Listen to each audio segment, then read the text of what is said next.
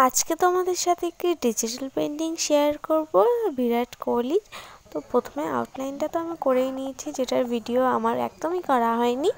এরপরে আমি যেখানে তার জামায় বা স্কিনে যেই কালারটা ছিল বেস হিসেবে সেই কালারটা আমি প্রথমে ব্যবহার করেছি। যেমন তেমনভাবে পরে বাকিগুলো আমি মুছে দেব।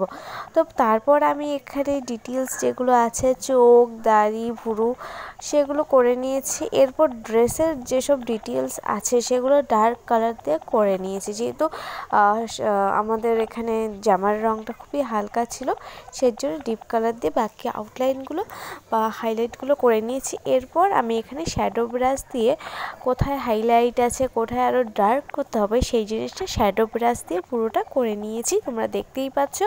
আর হোয়াইট রঙটা হাইলাইটের জন্য ব্যবহার করার ফলে ছবিটা আরও বেশি ফুটে উঠেছে। আর এখানে আমি শেষে ব্যাকগ্রাউন্ডটাও করে নিয়েছি, যেটার ভিডিও আমার একেবারে করা হয়নি। একদম শেষে যেহেতু করেছি, দেখতেই পাচ্ছ তোমরা ফাইনাল লুকটা কেমন হয়েছে। জানি ভালো লাগে লাইক শেয়ার অ্যান্ড সাবস্ক্রাইব করতে ভুলো না। দেখা হচ্ছে নেক্সট ভিডিও